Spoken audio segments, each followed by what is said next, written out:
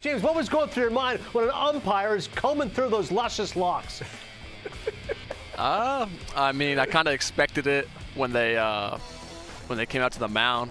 Uh, fortunately, Ted Barrett's a great guy. Honestly, like the as awkward as that was, he did a great job. Uh, I mean, great job about it. Like he did the best he could with Yeah. that situation. It was an awkward situation. And He, he, it had to happen, I guess.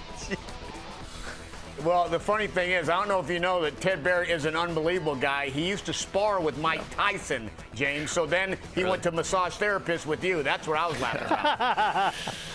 Yeah. Nah, that was uh, that's what I'm gonna uh, remember for sure. Well, listen, it's been a No phenomenal. doubt, man. Go ahead, go ahead, Kevin. Go ahead. No, no, you guys have you guys have been rolling. And when I say that, how much fun has that been? Because this is the fun time of the year. You got April, May, June, July. You get down September, this is when you want to be playing the best baseball, and you guys really have been. Yeah, we're hot right now. Uh, everybody's believing each other, and uh, it's been a fun ride, man.